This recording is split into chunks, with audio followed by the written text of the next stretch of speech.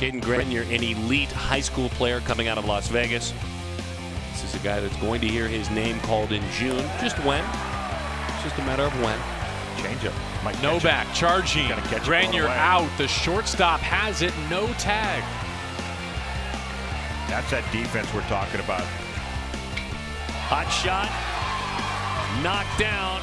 Long throw. And Cadyn Grenier just took a run away. Good athletic ability, gets down on the ground. First of all, he saves a run from scoring from second base if that gets through. Grenier with the charge, and he makes it look so easy. Dub on the line. Picked by Grenier. Steps on the bag, and that's the ball game.